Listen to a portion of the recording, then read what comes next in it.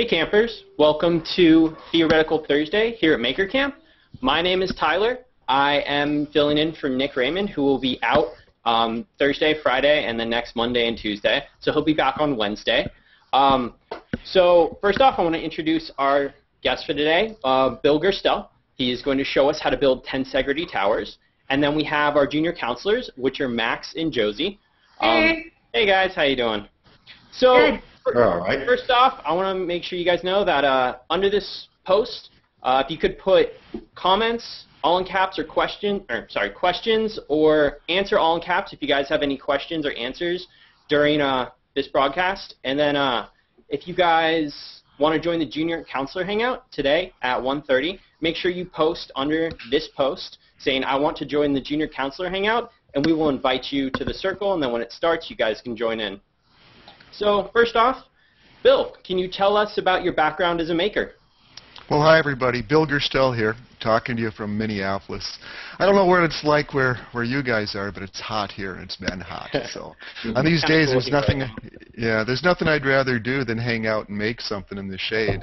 Mm-hmm. Um, I started writing for Make Magazine. I think my first project was in Make Magazine Volume 4 and mm. now we're up to 31. So I've I've had something in every every magazine since then. I I like to make stuff, and I write for Make. I'm a contributing editor there, and I write a mm-hmm. column called Remaking History. And I think remaking history is it's my favorite thing to do because I take some kind of famous. Uh, scientific thing from history and then make a model of it and show show people how to uh, how to make it themselves and I just think that's it's kind of fun.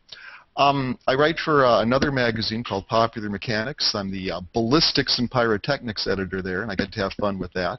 Yeah, and I write cool. books. Yeah, and I, eh, yeah, and I and I write um, uh, books. Uh, I, I, my best-known book's a book called Backyard Ballistics, mm-hmm. and uh, that's a book full of kind of cool, edgy scientific stuff, and um, that's been real popular. I've written books about catapults and robots and flamethrowers and all sorts of stuff, and um, you know, it's just kind of what I do. I'm I'm an engineer, and I guess I, I feel like sometimes I'm the luckiest guy in the world because I get to have fun all day long. I never know when I'm working, and I don't know when I'm playing. It's all kind of kind of the mm-hmm. same. So that's pretty cool.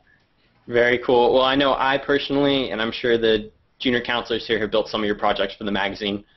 Um, so I heard from a little birdie that uh, you might be re-releasing Backyard Ballistics Oh, your your birdie tweets correctly. That's yeah. that is true. Actually, it's there's a brand new like I can't say it's brand new, but there's a whole lot of mm-hmm. new material in in backyard ballistics. I, the book is 10 years old now, and it's sold like 300,000 copies, which believe it me is a it's a phenomenal number of copies for a book to sell. So I feel really mm-hmm. lucky. But over 10 years, you know, things changed, and I've got feedback yeah. and better ideas. Oh, look, I, I happen to have what's the chances of this? Uh, oh, the wow. book in front of me. This is the new the new backyard ballistics, and um, Very if cool. you, if you get a chance, it should go on sale. Uh, well, by September 1st. That's less than 30 days away. So keep Mm-hmm. it in mind for a present. Sweet. Well, uh, to start off our project today, do you want to explain what tensegrity means of tensegrity towers? Okay. Well, tensegrity is a is a building structure. It's it's a kind of a, a, a strange, almost well, it is an artistic way of constructing towers. Um, you know, when I first wrote the uh, the magaz- the article for Make Magazine, I did a lot of research, and I found out that um, it was invented. A lot of people say they invented it. It's one of those things where there's kind of a a um, oh, I don't know, uh, an argument about who really is is the uh, the first guy to come up with this idea of a tensegrity tower. But basically, um, boy, I'm trying to look for an example here. Um, hey, can you hand me my iPad there? Thanks. Here, if I don't know if you can see this all right or not, but oh, that's my grandson. Don't look at that. Okay, this is this is. Can you guys see that at all? I'm going to put it up to Yeah. the camera. Hey, yeah. Um, this is a a tower built by a really, really well-known sculptor named Kenneth Snelson. And Kenneth Snelson says he invented the idea of tensegrity. But you can see how it's something made of uh, of long, you know, long poles and and uh, wires, and the Mhm. poles are in compression. And they're held together. This network of poles is held together by a network of wires, which are all in tension. So you've got sort of all the stresses for you civil engineers out there sort of divided. One is compressive stresses on the poles, and one is um, uh, tension stresses on the wires. And altogether, they make a, a structure that's been named tensegrity. The, the, name was given to it by a, uh, a really famous architect and thinker named uh, Kenneth Snelson, uh, sorry, sorry, Buckminster Fuller. Mm-hmm. And uh, Buckminster Fuller sort of made the word tensegrity popular. Now, whether he invented it or Snelson invented it or some Frenchman 50 years before that invented it, I'm not here to say. I don't know. They all say they did. But in any event, it's a really cool structure. And um, what we're going to do today, hopefully, on this on this podcast today, with the people we have right here, we're going to build our own tensegrity structure. And uh, it's an amazing thing to do. It's really fun for one thing. Mm-hmm. It's it's it's amazingly fun to build these things, and you can do a lot with them. And what we're going to do is make the very very simplest one, but you can build on mm-hmm. these uh, other ones to make them more and more um, uh, complex and more and more intricate, and it's it's kind of a lot of fun. Very cool. Well, uh, if you're okay with it, let's get started. Okay. Well, let's let's get let's get started. I think what we'll do here is have the junior campers and and me will both build a uh, the most basic structure mm-hmm. independently. Now, the basic independent structure is called a tendule. And I made that name up. It doesn't really mean anything. It's like a module, but it's a tensegrity module, so I called it a mm-hmm. tendule. And that's what Buckminster Fuller would, Fuller would do all the time. He'd take two words and he'd put them together, and uh, turn it into a cool sounding word. So what we're going to do now is make a tendule. So if uh, the campers at home have stuff in front of them, uh, hopefully people might have had a chance to look. Oh, look, there's a. I'll, I'll, I'll let you go to the. Uh, I'll, I'll stop talking so you can see what's happening with the junior campers or junior council. Yeah, we got a little bit of a head start. We built the uh, the first story, or I guess the first tendule, um, mm-hmm. already. So this is the over the two. This is the right weave. We've Very only cool. got enough of these. Uh, we've only got enough of these uh, dowels with eye hooks prepared to do three stories. Mm-hmm. But, um, we've also got the the original one that we test built when we ran his article in the magazine. Very cool. Awesome. Yeah. Okay. So, Bill. Okay, so I guess we'll kind of just start in order. Um, I, I, will say now that if you go online to the uh, you know to the website associated with this broadcast, you'll see a, uh, a post that lists all the uh, materials that you'll need to uh, to construct your own tensegrity tower. Now, the first thing you'll need is uh, dowels, and I took eight-inch dowels I don't know if you can see that or not. I'll hold it right up to the camera. This is an 8-inch dowel. Now, the mm-hmm. first thing you need to do is to drill a little tiny hole. Uh, you're not going to be able to see that, but there's a little tiny hole. Okay, great. Little tiny hole drilled in the end of the dowel. And mm-hmm. what you want to do is take a eye hook, a screw eye, a very small, it's called a screw eye. Let's see, get it away if you can see it.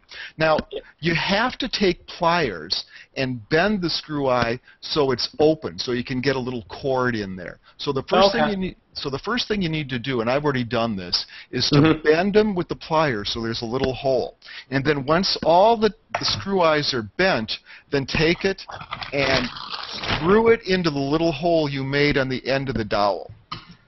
And when when you're done, the dowel will look like this. There'll be it's an 8-inch dowel with the screw eye on one end and a screw eye on the other end. Very so, cool. And I believe, what? yeah, I believe, go ahead. Oh, uh, what bit do we use to screw the hole?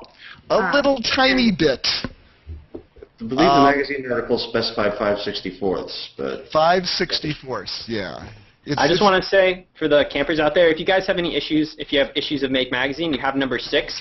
The actual project build is right there. So I'm going to follow along in the book, and if you guys want to follow along and have like it's a page 106. Page 106. Thank you very much, Max.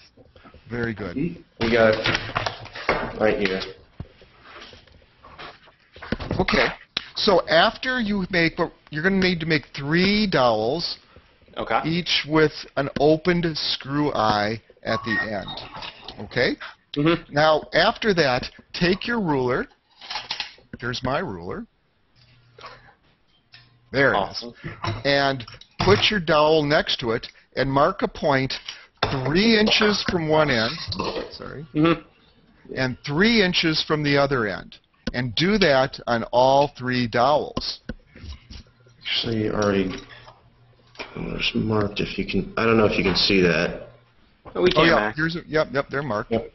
Yep. Okay, so now you have, I'm, you know, we've kind of done some of this in advance, but now we've got three dowels with marks three inches from either end.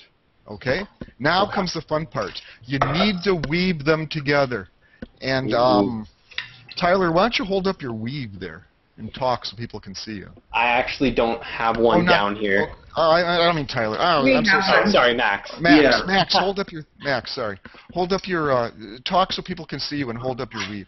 So the, uh, there's the, uh, the magazine article specifies that there's two different types of weaves. There's a left weave and a right weave. I've already done a right weave here, so I'm going to do a left weave now. Can you hold it up so people can? Yeah, and I've, Yeah, I've just, just hold up the right, hold up the right weave, and just hold it up there so people Yeah. can see. Now point how you can see how one each piece has one. How can I put this?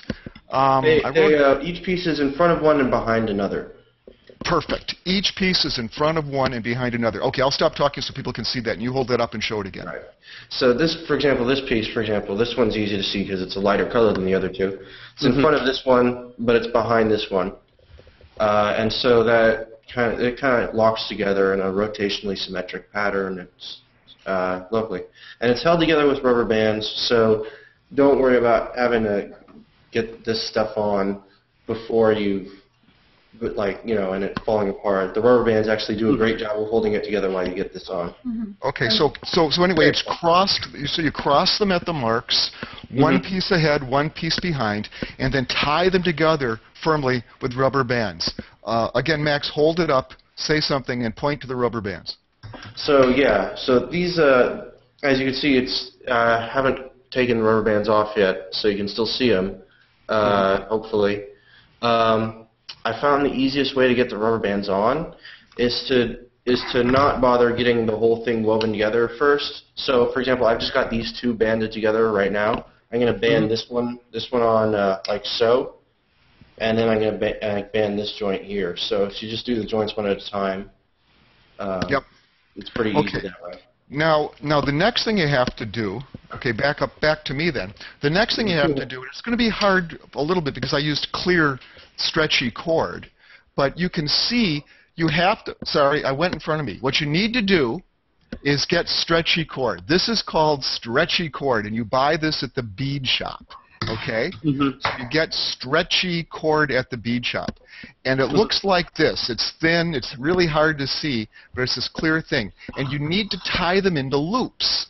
You need to make for this. You need to make two pieces 15 inches long, tied Okay. into a loop. Two pieces 15 inches long, tied into a loop, and three pieces 10 inches long, tied into a loop. So junior counselors talk and do that. Yes, we've actually elected to use this uh, this underwear elastic. It's not actually from underwear. Don't worry, it's new, but it's it's the same stuff that would go in underwear uh, because it's thicker and not not uh, not transparent. It'll show up better on camera. So, But it's it's the same. So you want to make two 15 inches long and three 10 inches long. Go ahead. so we've got one already, so we'll make another 15 inch one. And I'm going to cut it off. And then the other one was how long? 10 10. inches. 10. So three 10 inches. Yep. All right. So I'll uh, I guess I can. So I'll, I guess I can tie this one up. Uh, so I guess you want to use up as little of it as possible. It's not tying, it's not critical. Don't worry about it. But It's all it's all non-critical.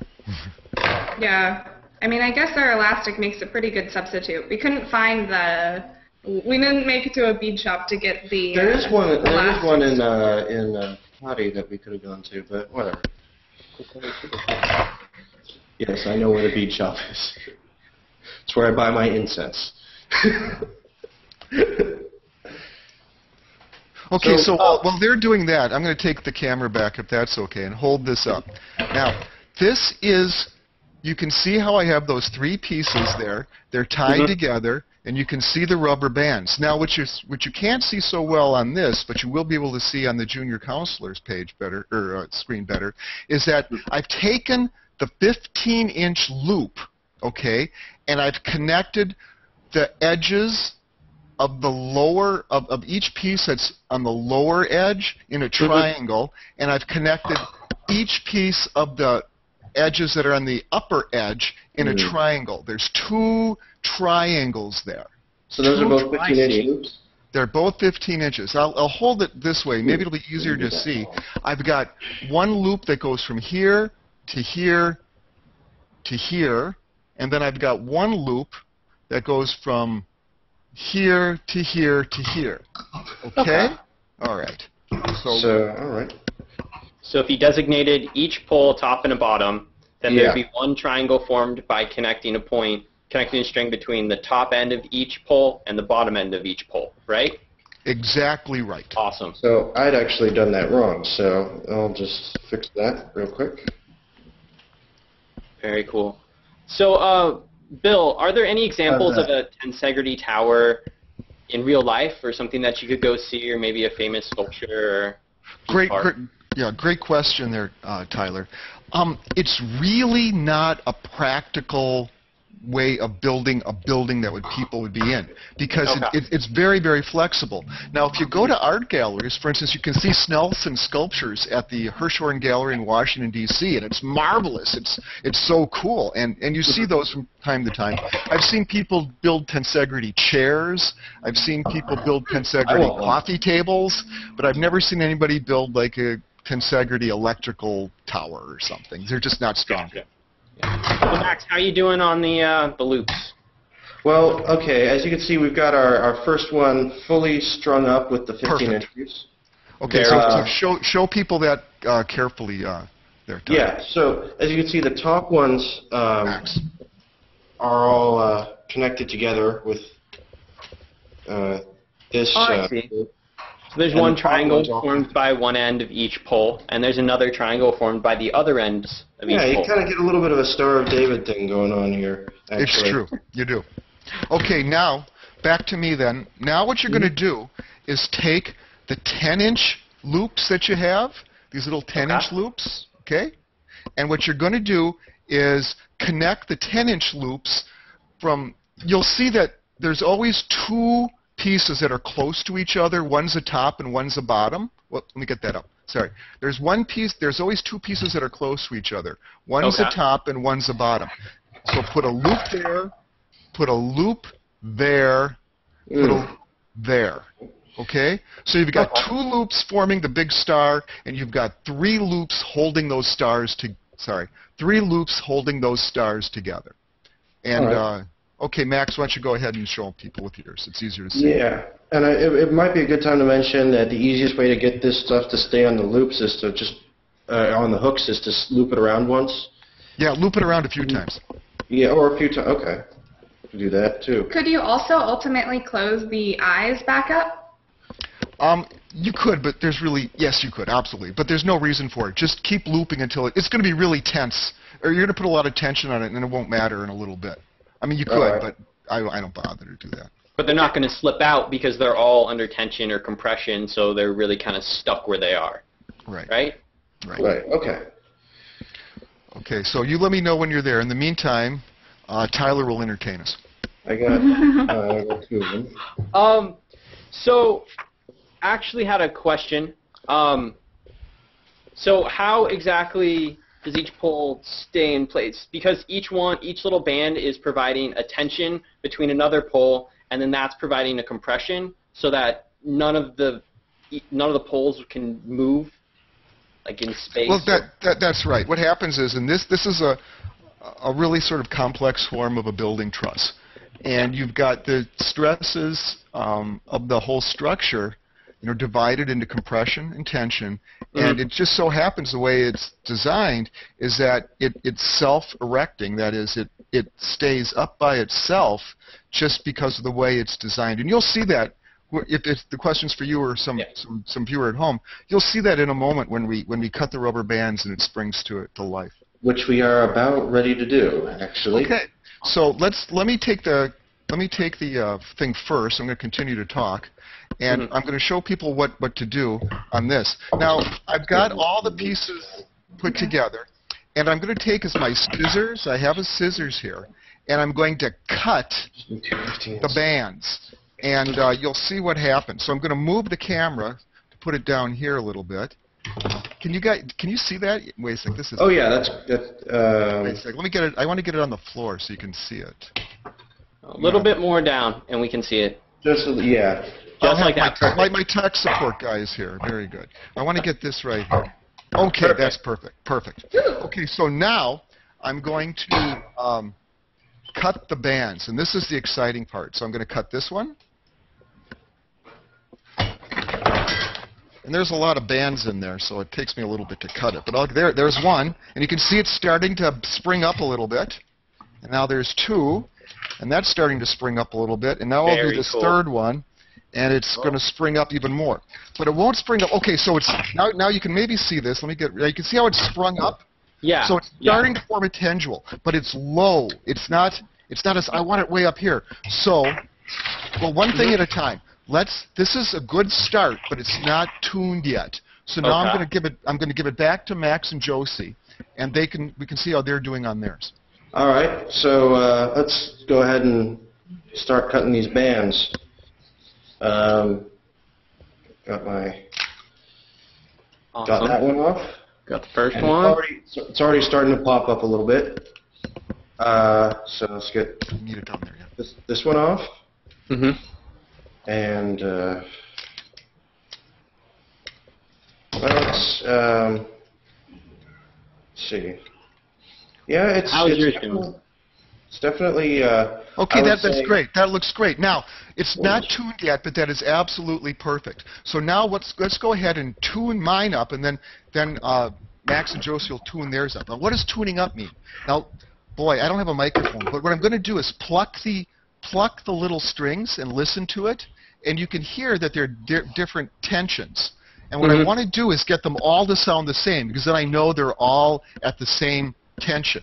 And how Yeah. do you do that? I'm going to start wrapping around the edges and really adding some oh, tension okay. into these bands. This pulls them tighter and tighter. And as I pull them tighter and tighter, it goes it goes up and up and up. And it's too bad that I don't have the microphone because it's really you listen to it, you go boink boink boink boink boink boink boink boink boink, and you try and get them all the same the same pitch. And we're just going to continue to wrap. And as we wrap, it makes those things tighter and tighter, and the tensegrity, the tendule gets bigger and bigger and bigger. So you can kind of see it's cool. getting up and up and up, and it's, it's Mhm. rising up. This angle isn't giving you as much to see as I was hoping, but uh, you hopefully get the idea, and I'm going to continue to do that. If you do it too much, it'll break, so there's a, uh, Mhm. a little danger, which is nice because it's live TV, but that's okay. All right. You can you can definitely see that it's getting it's getting larger and larger and larger and larger, Mhm. yeah. Or higher and higher, and so forth. All right. I'm going to see if I can get a note out of this thing. I got the microphone right here, so okay. hear that? Sounds yeah. Yeah. Oh, okay. you could definitely hear the difference between those two. Do it do it one more time, Max. Do Well, the actually, I was doing the same string this whole time. Oh, No, do different strings. Okay. Okay. Here's a here's a different one. yeah. Definitely. Did you just burp? Burp? No, I uh, I scraped it on the microphone. Kind of sounds Well- like a bass, a bass It guitar or something. Yeah, it's that's that's uh, this this rubber band, uh, this uh, or rather this uh, this underwear material is working out well for us. 'Cause you can see it and hear it. Now, I would good. say while the underwear material is really cool stuff to have for TV because our viewers can see it so well, Mhm. part of the idea is that if you use the clear, stretchy bead cord, it really looks more like it's floating, floating Right. on air, and that's um, that's kind of some of the appeal. So Yeah. while it's while Okay. it's you really want to look for the uh, and, and and the thicker stuff, the one millimeter stuff is Yeah. uh, is a, and it's cheap. I mean, it's dirt cheap. I mean, it's like a buck for a I don't know, five yards of it or something. It's just Another problem. Yeah, def, definitely another problem with this material is we're running out of room on the hook. yeah. Yeah. But well, but we that looks sorry, uh, we have a question from one of our campers. Um, his name's Pierce. He was asking if we could replace uh, that material with fishing line, since we're on the topic of substitutions. Yeah, great question. I would say no.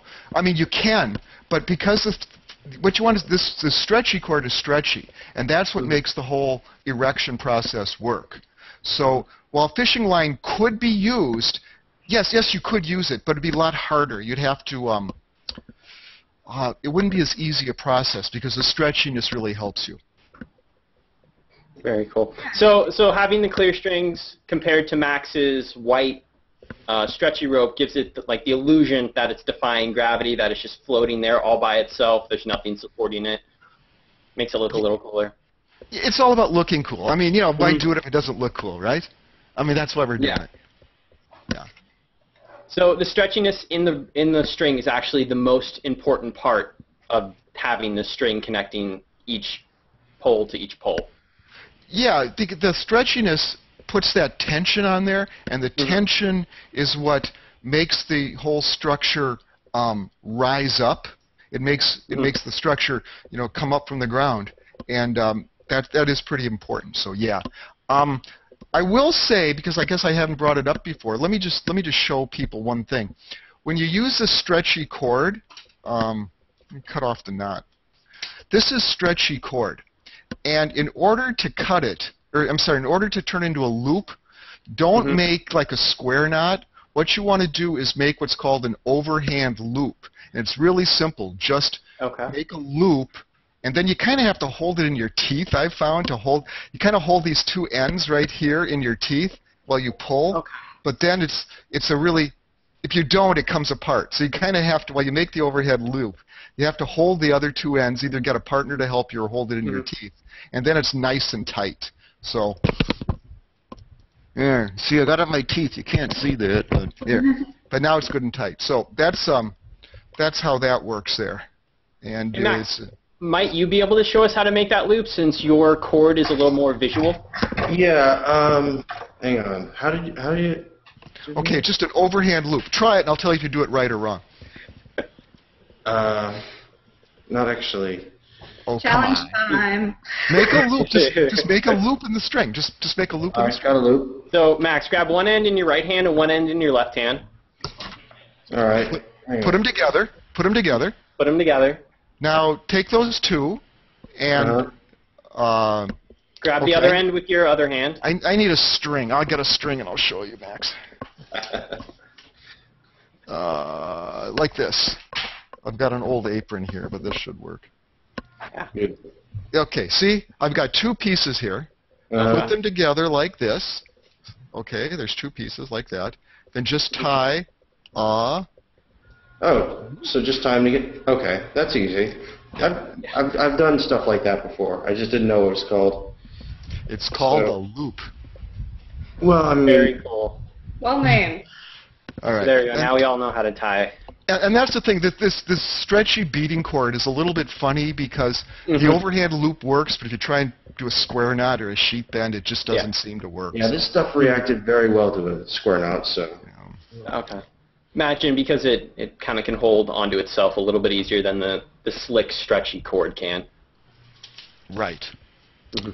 Okay. So um, now, if you take several of these tendules that you just made, Mm-hmm. there they are, and you stack them one on top of another, then you can make towers. Now, here's one I made earlier. You can see I've got Oh, tower, wow. I've got tendule on top of tendule. I'll move backwards so you can see it and get my, my head out of there. But you can see, and it's it's really kind of cool. I put it down, and it's you know it's a little bouncy and springy. It's and it looks really cool on my desk. I, I gotta tell you, you know, people come to my office and they Mhm. see this thing and they go, "Wow, that that's pretty cool. How'd you make that?" I go, "Well, buy mag, Make Magazine Volume Six, you'll learn." But now you know without having to do that, so that's great. Very cool. So, do you have any tips or tricks on how to make each pe- tendule connect to other tendule? Uh, that's a really good question. Um, what I did was I just connected um, I just connected each uh, eye hook to the loop, the big 15-inch loop in the middle, and just wrapped it around, and it stays pretty well.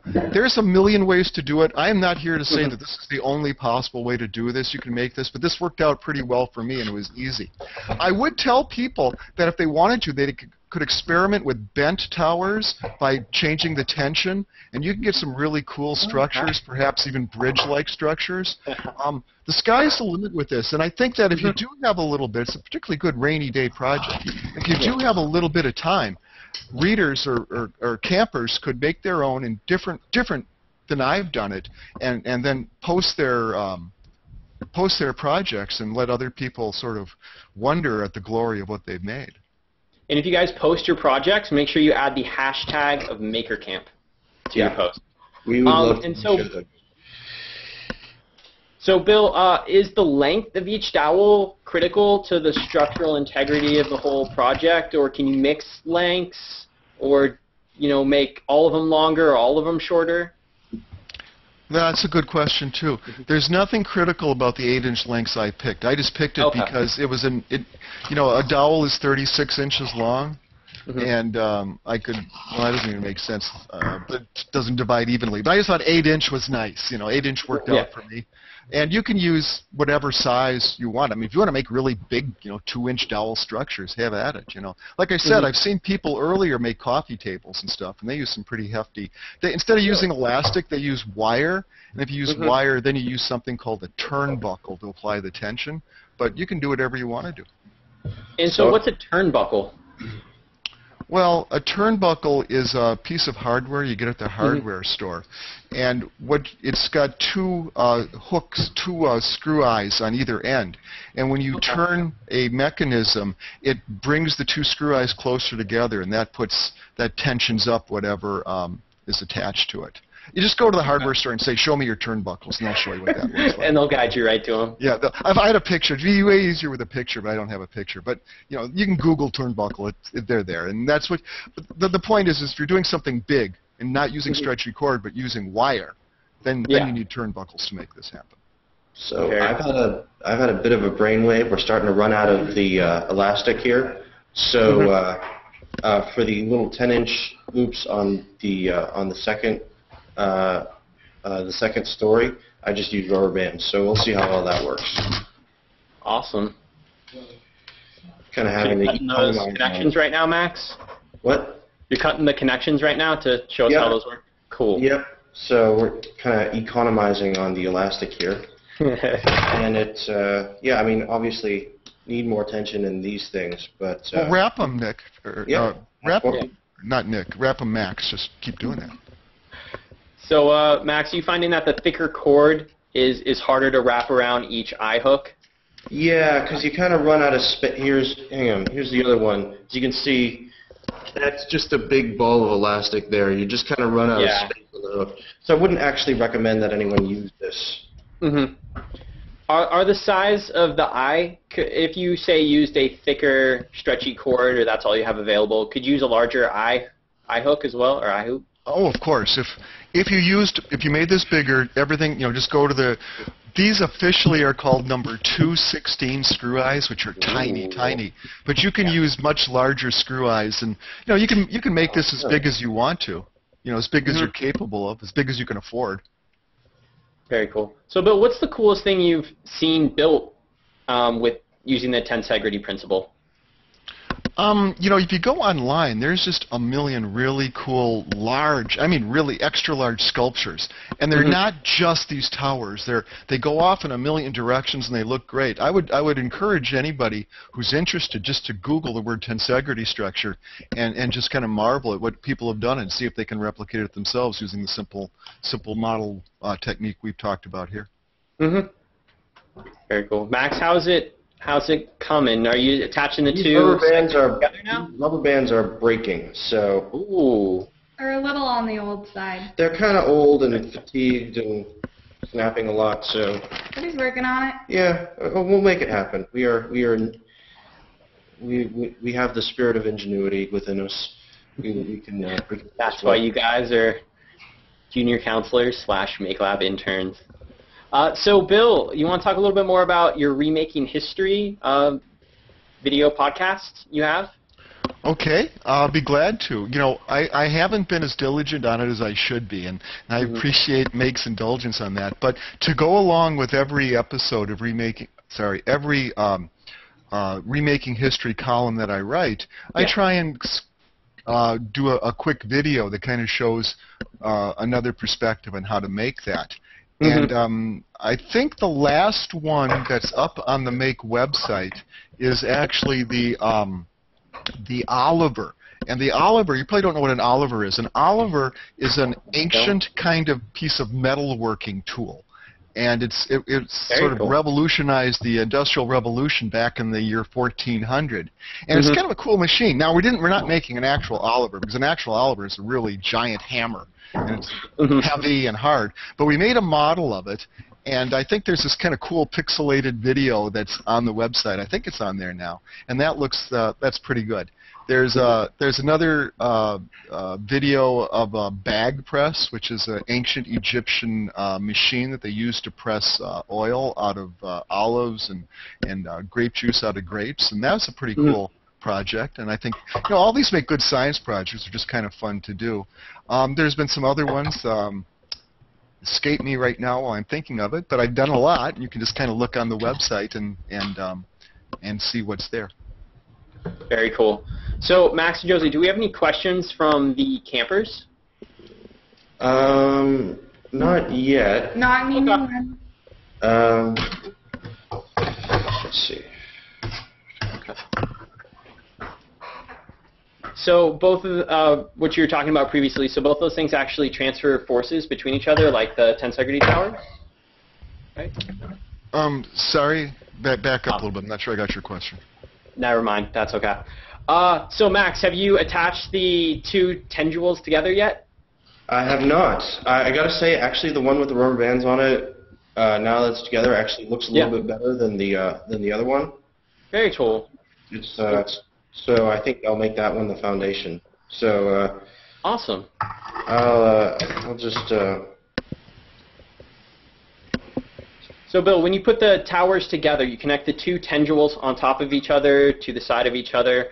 Are they supposed to move, or are they, or should they be rigid and move as one whole structure? Can they all move independently, or how, how should it feel once it's connected?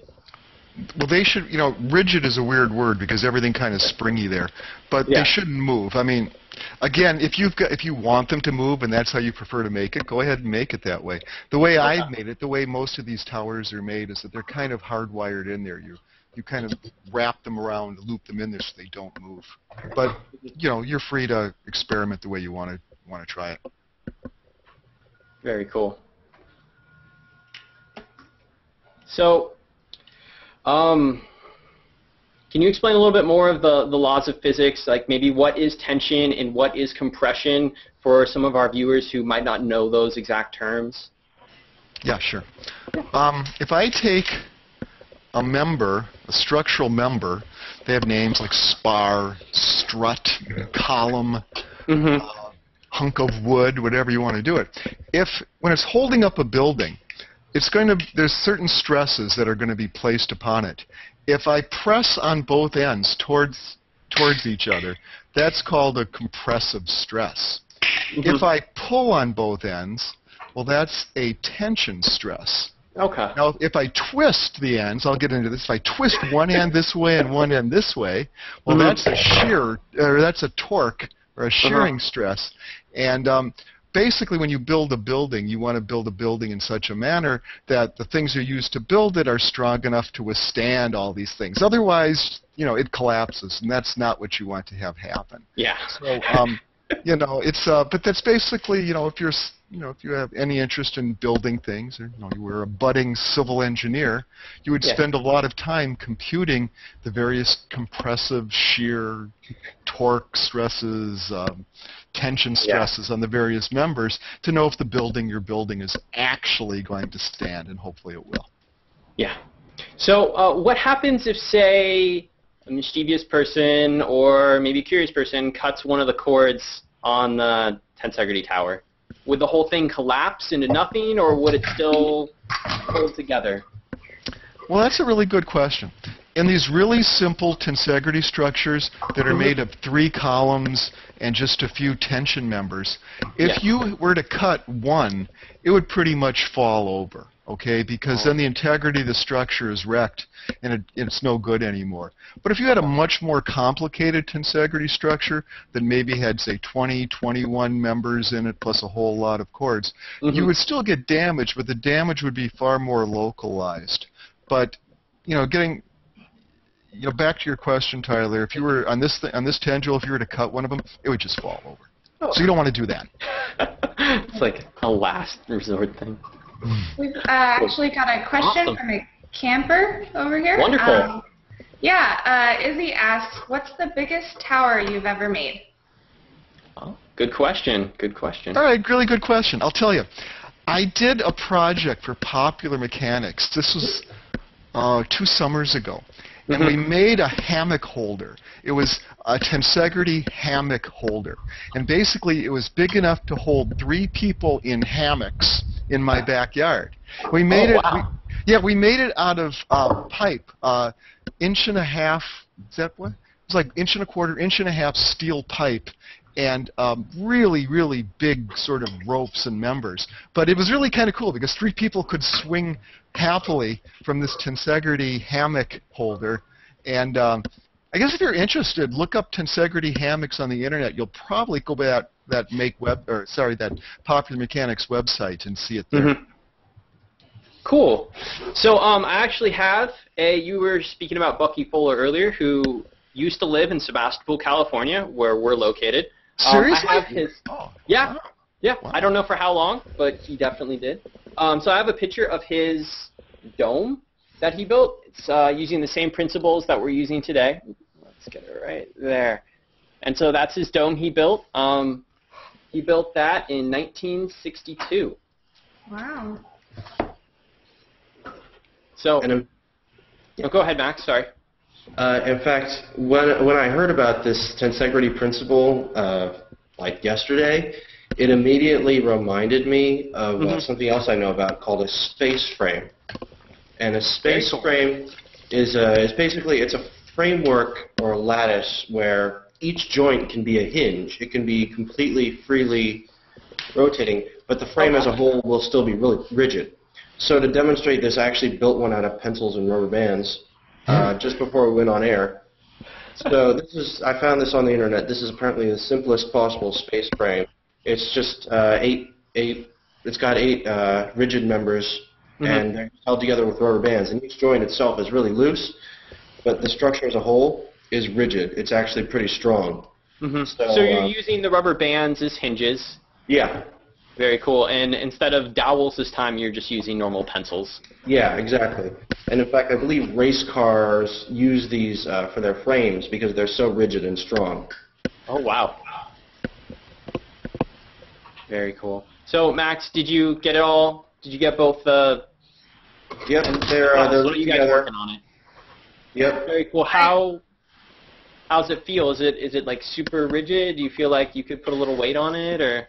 Uh, I wouldn't put a lot of weight on it. It's uh, it's it's it compresses a fair way, uh, uh, Wow. quite a ways, but uh, More importantly, does it stand up by itself?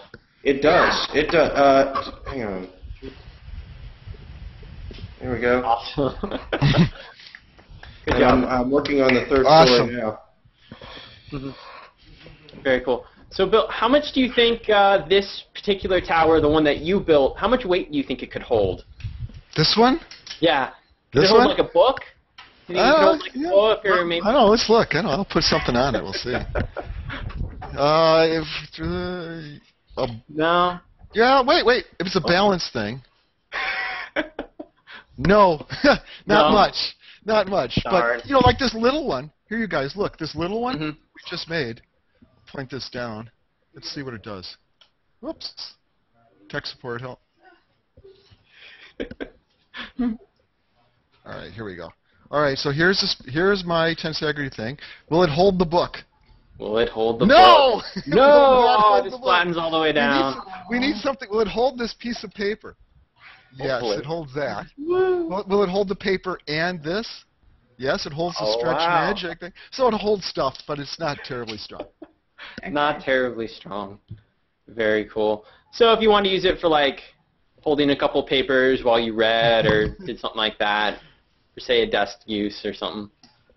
Yeah, Very cool. Tyler, it's not it's it's not about practicality here. It's about the art. It's about the art of tensegrity, not the practicality. Probably the the engineering in me coming out and wanting to find Yeah. a use for it or something like that. Very cool. So do we have any questions from the campers? Yeah, um, we have a question from a camper on YouTube who's asking if a dowel or a string breaks, can you fix it? Can you fix Could you the repeat that structure? again, Josie? Sorry.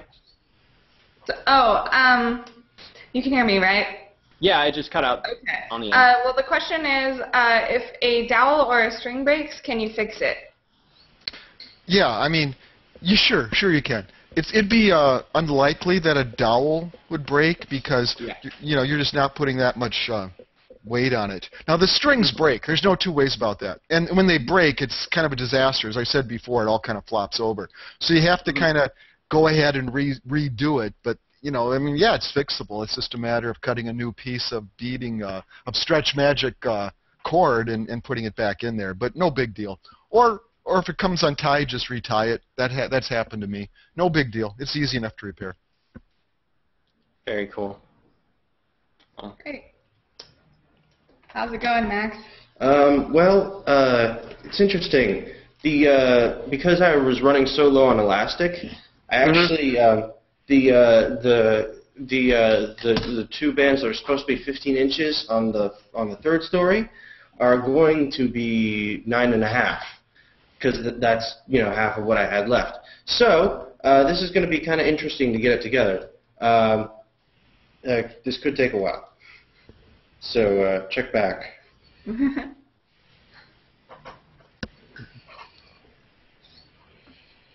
So, Bill, I heard. Um, I don't think there are very many questions right now from the campers. So, Bill, you uh, you gave a a talk, I believe, a couple maker fairs ago about black powder and why kids should learn how to make black powder, possibly, or why it's important to understand.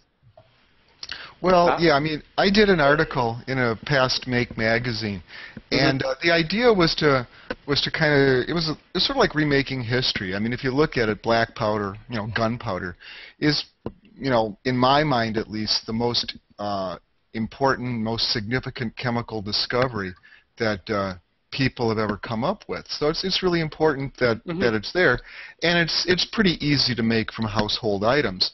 So the idea then was to say uh, on Make Magazine, well, let's show people how to make their own black powder. Well, there was some pushback from the company lawyers on that. And, um, as it turned out, although we, we, we ran most of the article, we Mhm. actually did not include the recipe, the proportions in the article itself. And I Mhm. guess I understand why you want to do that, but really the um, it's not hard to find. I mean, if you want to know, I mean, it's, it's it's there. You take three chemicals, charcoal, and it's not like the kind of charcoal you get in Yeah. briquettes. It's kind of Yeah. charcoal you have to make, and you you make it by by heating air to high temperature in the absence of oxygen. It turns black, but it doesn't burn, and that's called charcoal.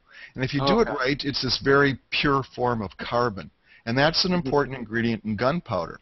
The other, another important ingredient in gunpowder is a chemical called sulfur, and sulfur is widely available. I mean, you can get it at all sorts of, you know, uh, um, home stores and places where they sell uh, fertilizer and things like that. And the most important thing is an ancient chemical called saltpeter. Its chemical name is potassium nitrate.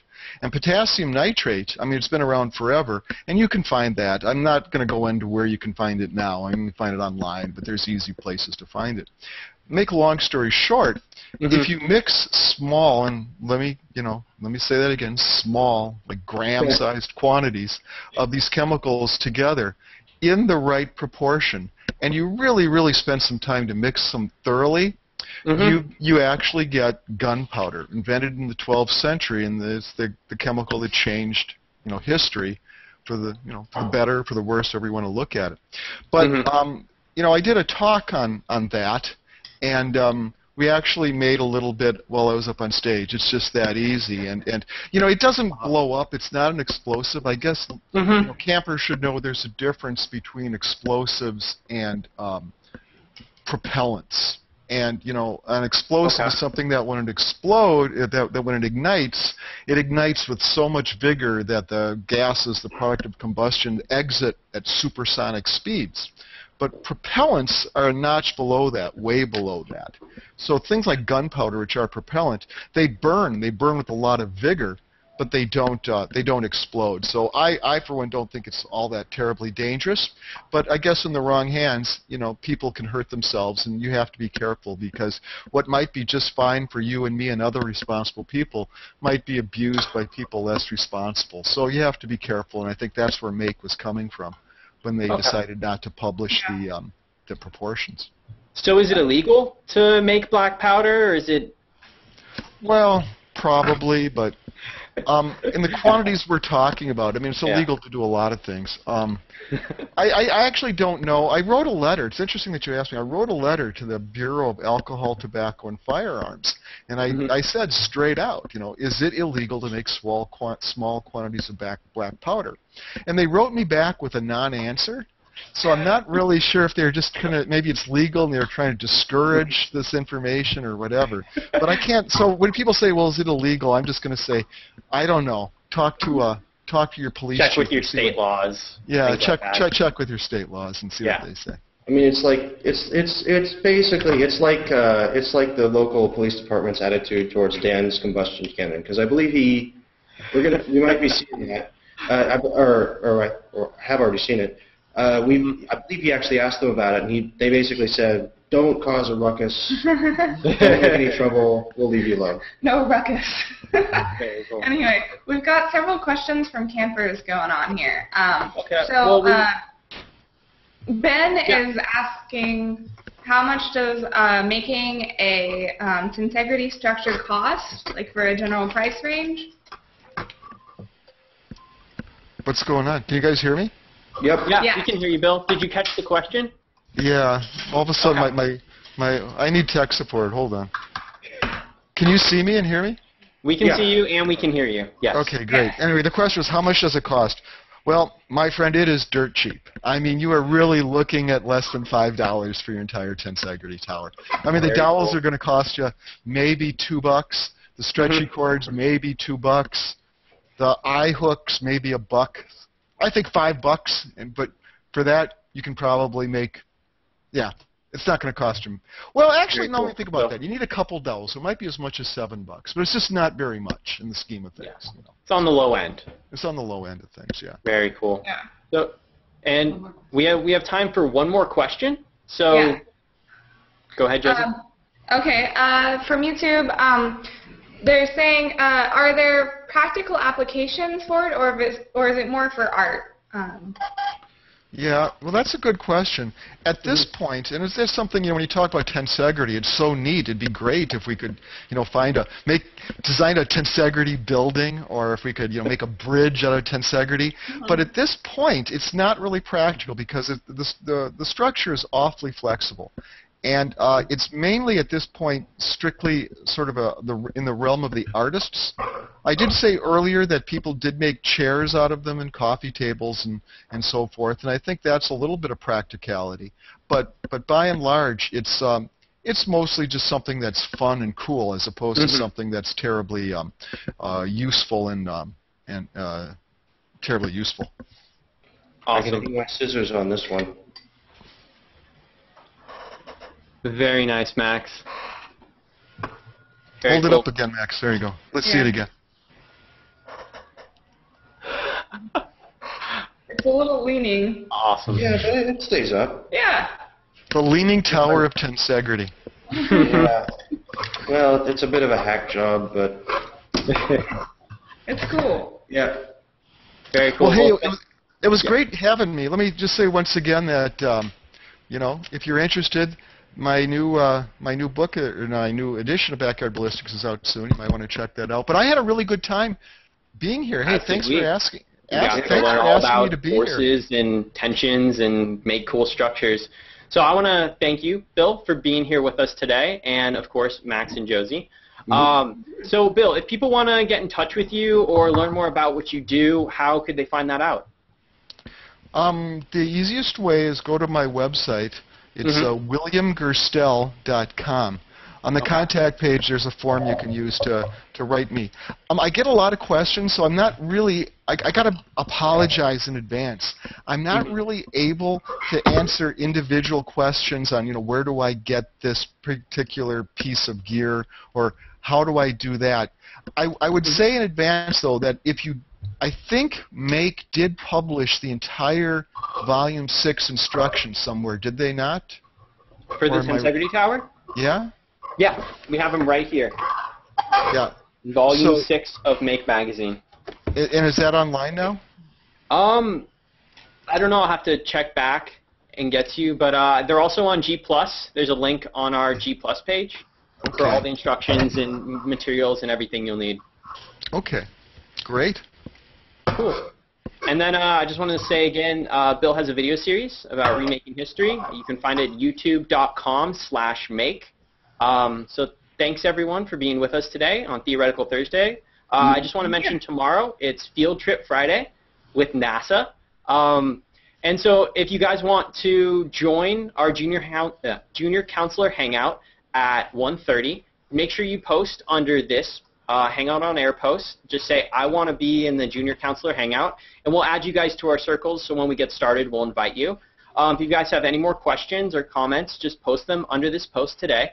Um, and if you guys have built these at home today, please make a post, add the hashtag of MakerCamp, and we will post on them, check them out, and you know if we find a couple that really jump out at us, we will post them on our page.